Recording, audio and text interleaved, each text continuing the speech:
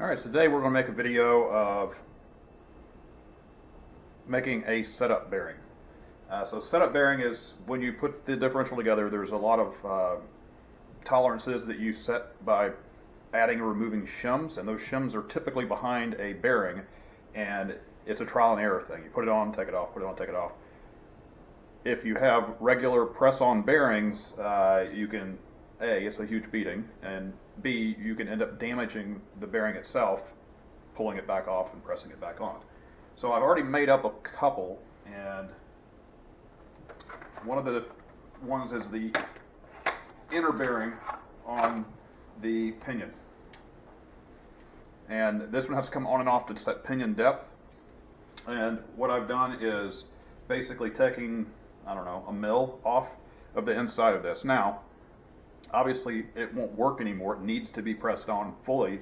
So I did have to basically sacrifice this part. It's a you know $20 bearing that does kind of suck, but uh, it'll allow me to do this with the least amount of pain. And from the videos I've seen, there is a significant amount of pain involved in setting up the rear. So normally this would press on, but if you watch here, just barely slips down, really nice and tight still, but I can put it on and take it off with my fingers. So this is what we want to get to. Now, I think you can see, yes you can see here, uh, this is on the carrier. It has a bearing on either side. Uh, put this back in this box. I've marked those so I don't have confusion later. Uh, marked it two ways. I actually put a little bit of white paint on both sides so if I pick these up, I'll know right away that these are not the final bearings to be put in. They're just set up, and I marked their box setup. I've already done one of the carriers. The way we're going to do this is with this little flap wheel. Um, see if you can see. And it's just a, you know, Northern Tool and Equipment's finest again. Uh, and what I'll do is basically move that around here on the pinion bearing, it was a little bit easier because it was just the right diameter to fit inside there. This, I have to kind of work it around. This is going to be really loud. Uh, I'm probably going to time lapse this because it takes a little while of me running it through here, trying to see if it's tight yet or if it slips on yet, doing it again, doing it again, because um, I want it just enough. I don't want to go too far have it sloppy and just rattle it around on there. And safety goggles.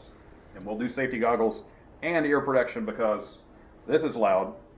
When the compressor upstairs kicks on, it's really loud. So I'll spare you guys that and I will be trying my hand at, uh, obviously this is the first stationary camera video, uh, and I'll be trying some editing this time for the first time. So we'll learn together.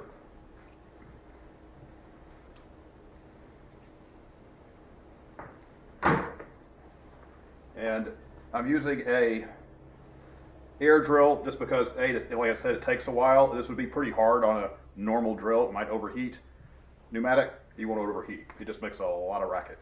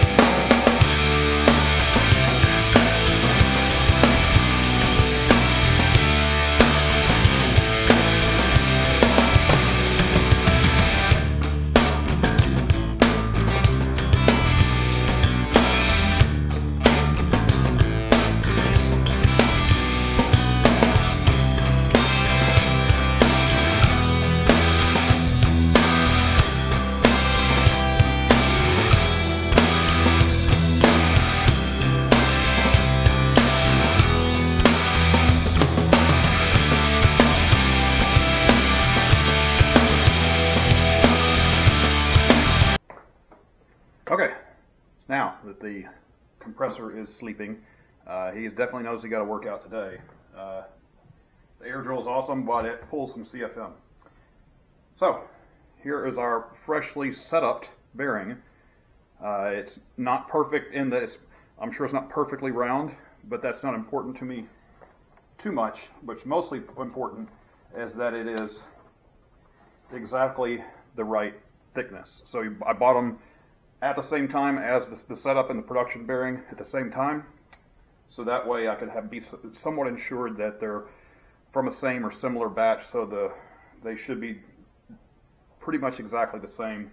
I did booger this one up just a hair. The vise was fighting me, uh, but I don't think they're actually depressions and not raises. So that should be fine when the rubber meets the road. So let me see if I can.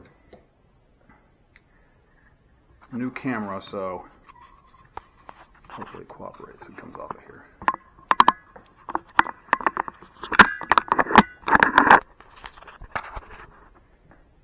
Okay. You can see that uh, I don't know that I showed this last time, but on the I've got the ring gear put on the pinion uh, or pinion. I've got the ring gear put on the center diff and uh, torqued them all to 55 foot pounds. Used some Loctite. I saw debates on there. I don't see what it hurts other than harder to get apart, and hopefully it won't be having to come apart. Uh, but here, to show you here, before this wouldn't fit on there at all, and now with just a little bit of encouragement, it fits on. It's still a little warm, so one thing you'll want to do if you do this, recheck, make sure that it let, let, let it get nice and cold, and same temperature as the uh, center, and make sure it still fits because it's going to get a little tighter, and that's kind of okay with me because it's got just enough slack now to where I can get that on and off, and as I'm replacing shims, uh, I will be cursing less. Um, that's really all for tonight, I think.